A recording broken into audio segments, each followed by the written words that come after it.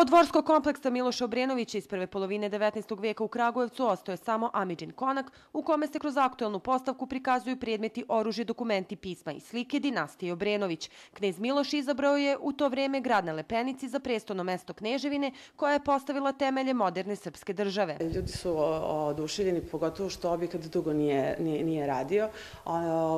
Do, dosta naravno ljudi zna, ali mlađe generacije e, tek e, sada stvaraju neku priču i vraćaju se, što je nama interesantno. Sretenskim ustavom, koji je upravo izglasan u Kragujevcu, ukinut je feudalizam, izvršena je podela vlasti, postavljeni su temelji državnosti u vidu zastave i grba, a kroz njegove tekovine u vidu dobijanja lične imovinske i pravne slobode stvoreno je i moderno građanstvo. Mi i danas obeležavamo, odnosno pre svega, dakle, negujemo sećanje na Miloša Obrenovića, na svoje kulturno-istorijsko nasledđe, pa samim tim obeležavamo i Sretenje, jednom Sretinskom akademijom, ali naravno za taj 15.